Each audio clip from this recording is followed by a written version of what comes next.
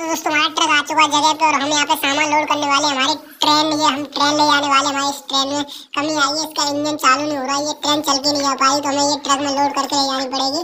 चलो गाड़ी को ट्रेन को ये ट्रक में लोड कर दो। इसके जो आगे वाले टायर में पंचर हो गया है। अगले टायर वाली बेरिंग खराब हो गई है और हमें ये ले जानी पड़ेगी ताकि हम इसकी रिपेयरिंग करा के ले जाए मिस्त्री के पास में। दोस्तों ले जा रहे इसको आराम आराम से कि वो ट्रेन में काफ़ी ज़्यादा भारी है, बहुत ही वज़न है इस ट्रेन के अंदर। हमारा ट्रक भी चल नहीं पा रहा है, इसके पहिए देखो पूरी तरह से दब रहे हैं। भाई बहुत ही खतरनाक खुशी होने में इसे आराम आराम से ले जाना होगा, क्योंकि ये ट्रेन बहुत ही ज़्यादा वज़न है और हमारी अगर ट्रेन पलट जाती है तो हमें बहुत ही नुकसान होगा।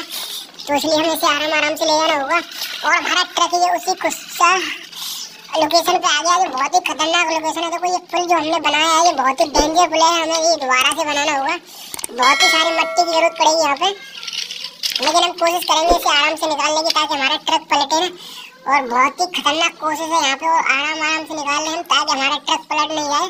और ओ माई गॉड ये उम्मीद नहीं थी, हमें हमारी ट्रेन भी पलट गई और हमारा ट्रक भी पलट गया। आप देख सकते हैं कितना ज़्यादा नुकसान हुआ है। अभी तुरंत जेसीबी आई है, यहाँ पे पुलिस भी आने वाली है एंबुलेंस लेके आने वाली है, क्योंकि बहुत सारे यात्रियों को चोट लगी है यहाँ पे। चलो, हमारा सामान दोबारा से लोड हो गया, हम इसे लेके चलते हैं और मिस्त्री के पास दिखाते हैं। इसमें और बहुत सारी कमी आई है, भाई बहुत सारे पैसों का नुकसान होने वाला है हमारा।